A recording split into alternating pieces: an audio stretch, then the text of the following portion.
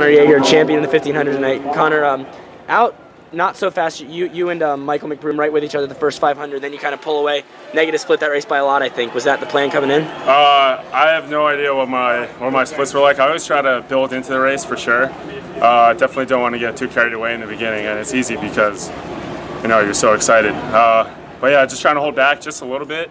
It's like a double-edged sword. Like you can't go out too slow, or else you won't be able to, you know, go fast enough in the ends. Like get it far enough under. So I don't know. It's hard to just play it and see where you end up. It's like 15 minutes of waiting to see how you're gonna do. Was that what you expected before the race, 1451, and after the race? Uh, you know, honestly, just to perform well and qualify for the team is like number one priority for sure. Um, maybe wanted to go a little bit faster, but uh, we got some more time. So. Can you talk a little bit about this is like your first time competing at this pool? Is that correct? Yeah. And like, where were you in? 2010. Yeah. Probably on my couch or like skateboarding or surfing or something. Yeah, you come a long way in, in, in really a short period of time. I think people kind of take that for granted sometimes because they know about the NCAA career. Right. You know, what, what, what do you attribute to your success so fast, such a high trajectory? Honestly, the uh, the training environment that I've had at the University of Michigan, uh, for sure.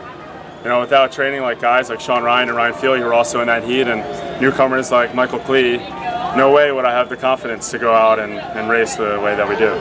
Maybe just because I've been sitting up there all day right in front of him, but those guys up there, the Go Blues, it's right it's in impressive. Your ear. Right I'm in sure my you ear. guys are loving that all day. It was you most of the day. yeah, I'm pretty loud too. How does that make you feel on the blocks during the race? It's great. You're supposed to be having fun, and that's why we're here and like cheering on your friends. Why would you train eight months together and then not get here and like wa- even watch them race or cheer for them? You know, that's the point. So that's yeah. You made the team. How's, how you feeling at this moment? It's so relieving. it's so relieving.